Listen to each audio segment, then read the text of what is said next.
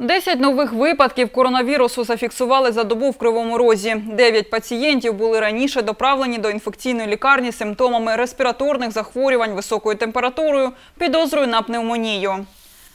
Ще один підтверджений випадок – це хворий без симптомів, який лікується амбулаторно в режимі самоізоляції. Ще один пацієнт одужав. Всього у місті з діагнозом ковід лікується 54 пацієнти. Семеро з них не криворіжці. Таку інформацію озвучили сьогодні на засіданні міського штабу під головування мера міста. За чинними критеріями, показник динаміки зростання випадків інфікування COVID-19 у Кривому Розі становить 3,3% на 100 тисяч населення. Норма не більше 10%. Високим залишається показник охоплення тестами в Кривому Розі 511 на 100 тисяч мешканців. При нормі щонайменше 24 дослідження.